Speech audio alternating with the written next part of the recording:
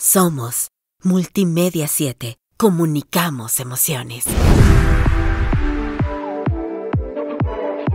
repente puede haber gente pues con cierta dificultad. Y yo tenía mucho miedo, válganos Dios, pero en el momento en que la vimos, nos ha dado un abrazo que rompió todas las barreras del miedo o de la distancia que pudiese haber y suponte que nos conocemos de toda la vida.